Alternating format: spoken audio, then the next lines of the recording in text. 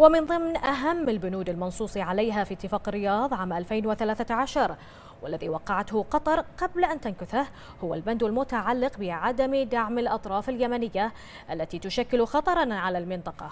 وينص هذا البند على عدم قيام أي من دول مجلس التعاون بتقديم الدعم لأي فئة كانت في اليمن ممن يشكلون خطرا على الدول المجاورة.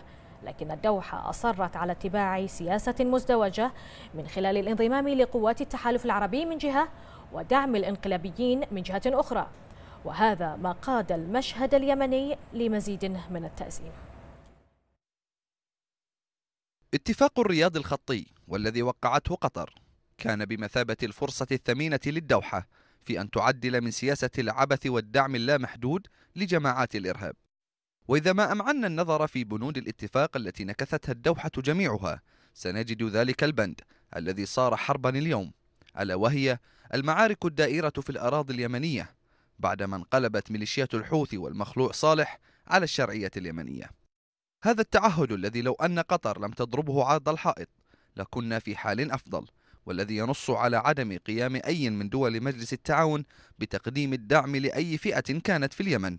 ممن يشكلون خطرا على الدول المجاورة لكن الدوحة وقعت على ما يبدو وهي معصوبة العينين ولسان حالها يقول سنوقع اليوم وغدا نهار جديد نستأنف من خلاله دعم الانقلابيين الحوثيين وهذا ما حدث إلى جانب دعم متطرفي تنظيم القاعدة لاحقا.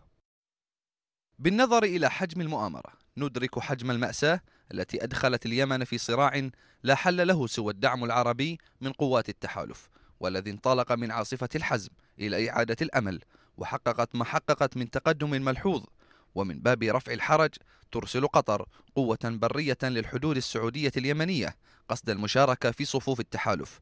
وبهذا تكون قد وصلت لغرفة العمليات المشتركة المليئة بالمعلومات والإحداثيات.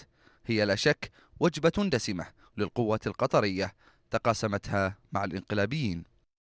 وما إن قررت الدول الداعية لمكافحة الإرهاب. قطع علاقاتها مع الدوحة. أصدرت على الفور قيادة التحالف العربي بيان إلغاء مشاركة قطر من التحالف العربي وله قرار حكيم كما أجمع الخبراء والمحللون وما يؤكد صحة ما ورد حول العلاقة القطرية الحوثية الوطيدة.